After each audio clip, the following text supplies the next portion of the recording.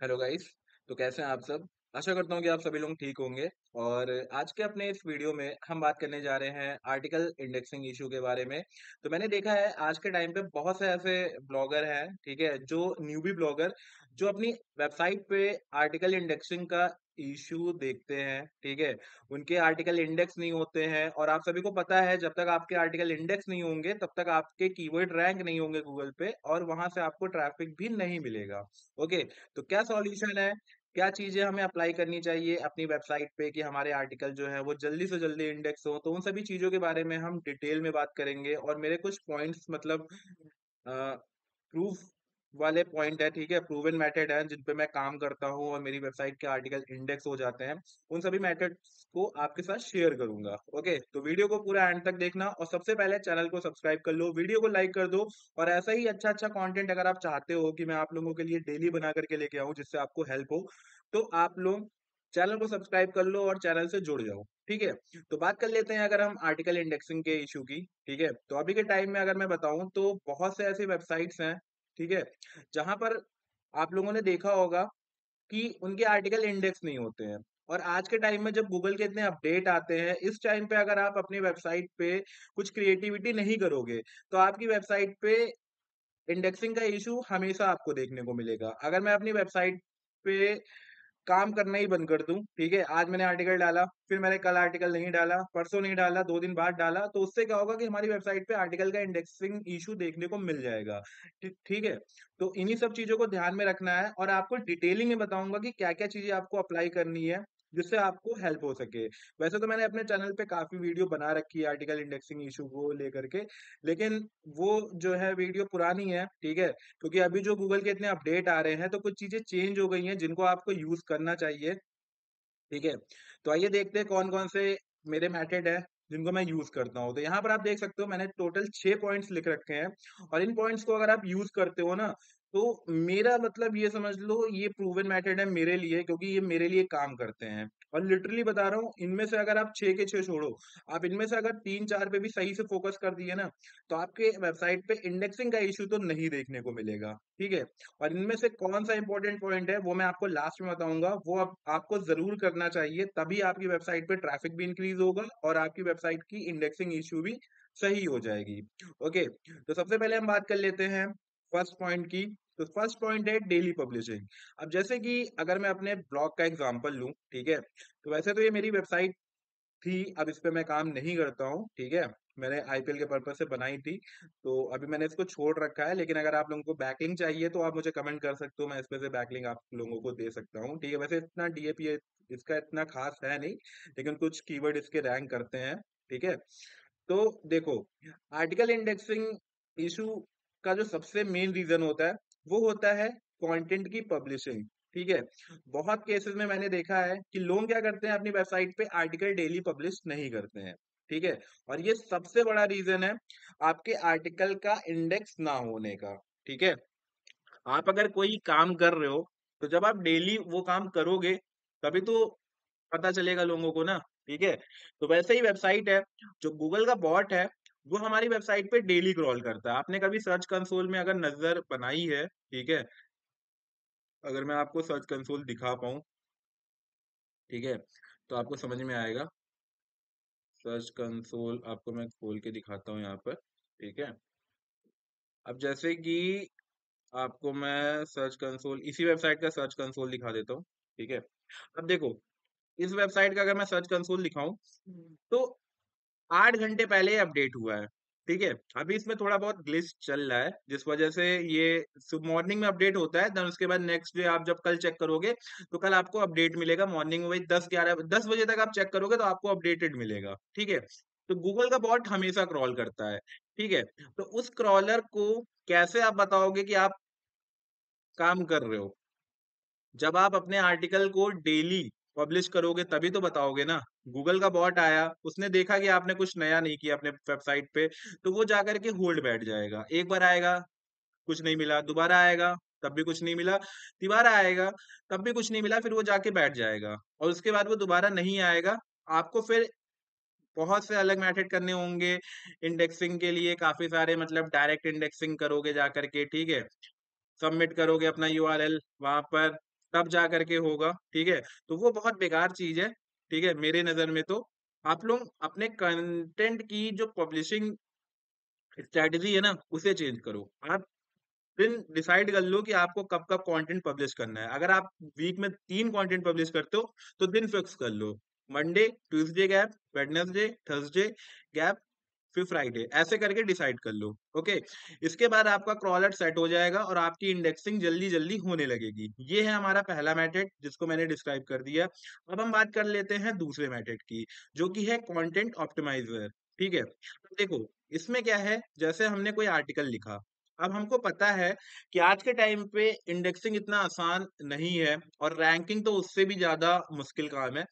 तो उस केस में अगर हम अपने आर्टिकल को जल्दी से इंडेक्स कराना चाहते हैं और जल्दी से उन कीवर्ड्स पे रैंक कराना चाहते हैं जिन पे हम टारगेट कर रहे हैं, तो हमें अपने आर्टिकल को ऑप्टिमाइज़ करना होगा, ठीक है? जो आपके पुराने आर्टिकल्स हैं, उनको आप अपडेट करो।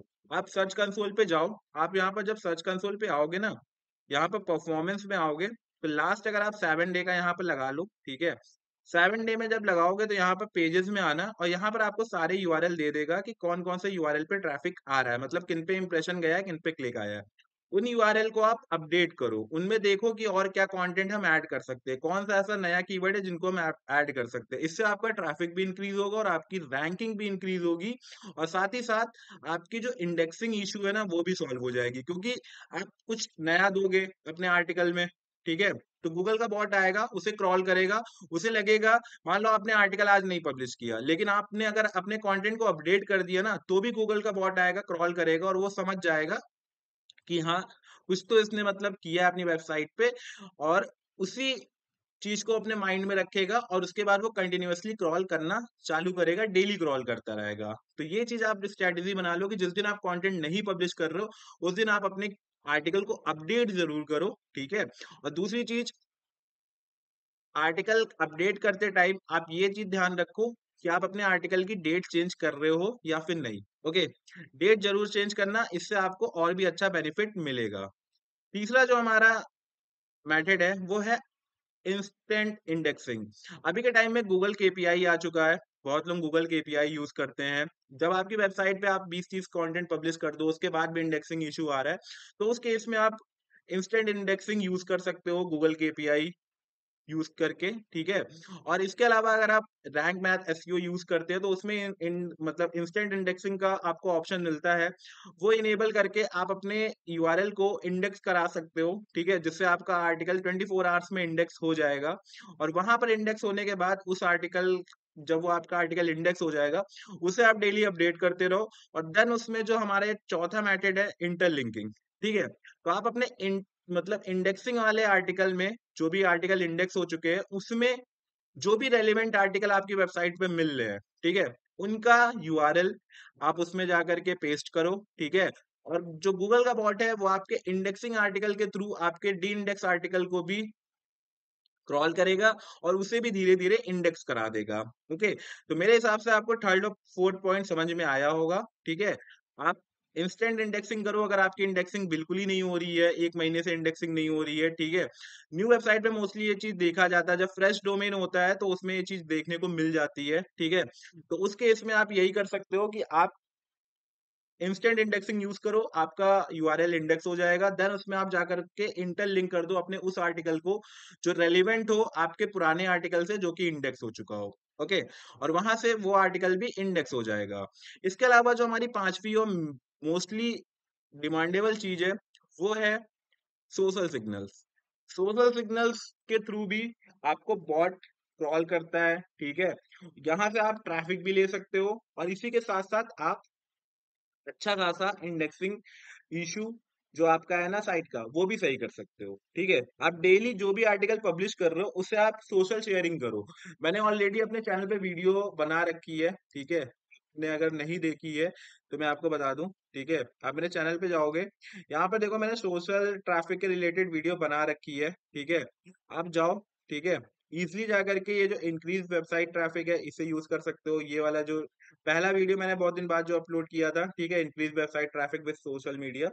इसे आप देखो, यहाँ पर मैंने डीपली बता रखा है कि कैसे आप सोशल मीडिया से ट्रैफ़िक ला सकते हो और इसी मेथड को यूज़ करोगे तो आपकी वेबसाइट की इंडेक्सिंग इश्यू भी सुधर जाएगी। आपके आर्टिकल इंडेक्स होने लगेंगे जब गूगल के बॉट बार-बार क्रॉल कले करेगा, सोशल मीडिया के सारे बॉट ये सब क्रॉल करेंगे, तो आपकी वेबसाइट की इंडेक्सिंग इश्यू खत्म हो जाएगी। और सबसे जो इम्पोर्टेंट चीज़ है, जो आपको कोई नहीं बताता, वो मैं बता रहा हूँ, अपनी वेबसाइट की बैकलिंकिंग सही करो, ठीक है?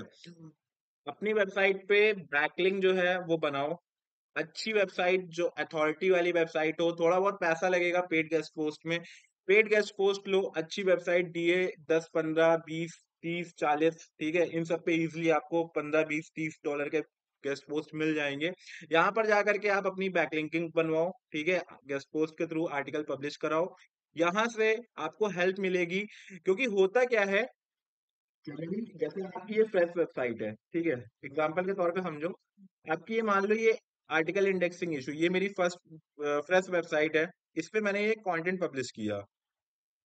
अब क्या होगा कि जब ये अलग-अलग छह वेबसाइट इस आर्टिकल को लिंक करेंगे, तो गूगल को ये समझ में आएगा कि कुछ तो इस आर्टिकल में अथॉरिटी है और कुछ इस वेबसाइट में अथॉरिटी है। तो वो क्या करेगा हमारी वेबसाइट पे ऐसे ही वैल्यूएबल चीज़ को खोजने के लिए बार-बार क्रॉल करेगा और हम जो भी चीज़ पब्लिश करेंगे उसे जल्दी से जल्दी इंडेक्स करेगा। समझे?